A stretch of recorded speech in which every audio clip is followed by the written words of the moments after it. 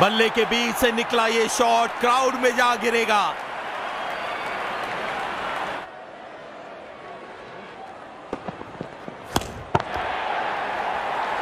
करारा प्रहार बल्लेबाज का छह रन के लिए।